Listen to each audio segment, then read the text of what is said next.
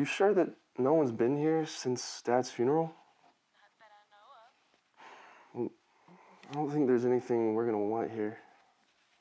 Well, if you find anything. Yeah. Was Dad married before he met you? What? What are you talking about? I've never seen the people in this photo with him. Charlie, you are not my only child. I'm sorry. I hope you can forgive me.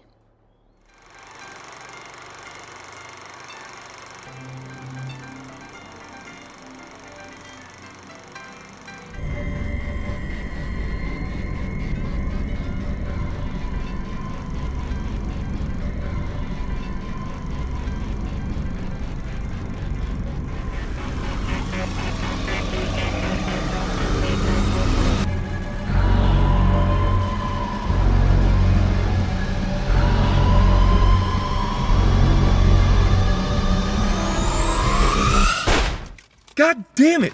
Motherfucker, there's fucking pickles on this. Hey, I told them no pickles. I said it. Just pick them off. You can't just take off pickles and pretend they were never there.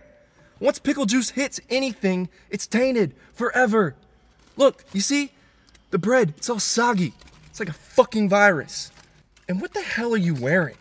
We're supposed to be incognito. When she leaves, we move. All right, go, go, go!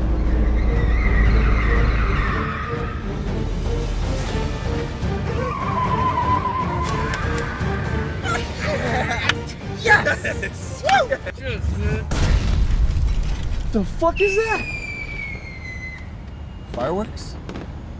Hmm. Oh, fuck you!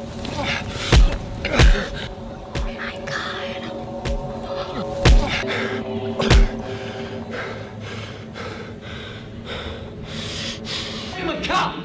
No one is going to believe you over me.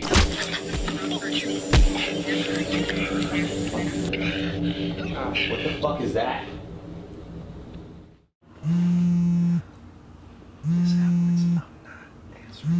better. I'm not losing another case because of you. She's not stupid. Answer your damn. Daniels. You know I'm not stupid, right? Uh, I. Listen, um, Lieutenant, I can I can explain. Not you for Daniels. I know the only reason why he's up so early is because he's laying up with another little thought.